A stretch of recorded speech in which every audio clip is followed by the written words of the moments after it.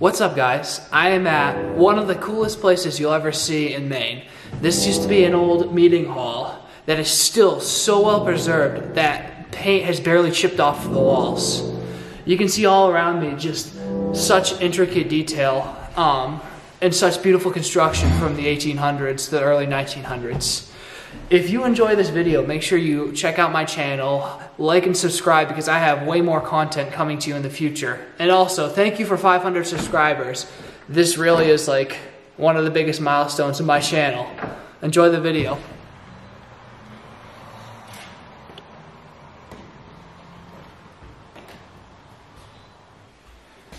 This is amazing.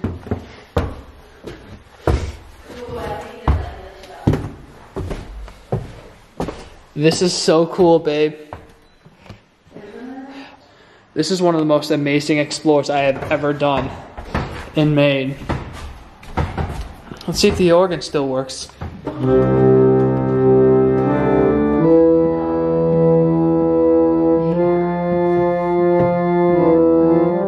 It still works. That's amazing. This is so cool. Your intricate detail on this wall. This has literally been painted. This is beautiful. What's up? You can see the old seating. They had like a section where you could overlook. Um, yeah, they have some paint that's cracking away right here, Just sad because this is beautiful. Okay, ready? Yeah, you gotta pump on the uh, pedal. This, oh, Yeah, nice. this one? Yeah.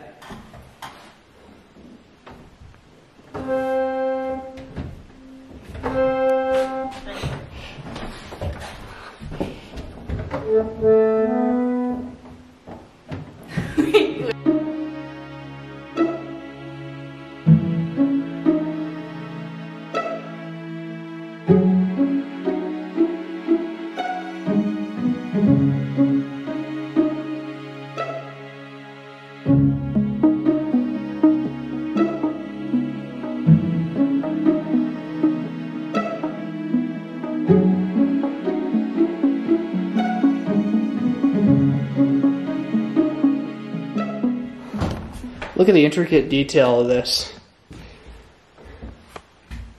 This is the entryway right here. I haven't seen a place like this ever.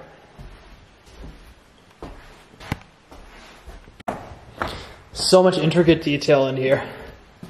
This is just beautiful, the brush strokes right here. I'm not touching this wall actually. I want people to know that. But this is just such like detail. So much color in this one section. I wonder if this bottom organ still plays.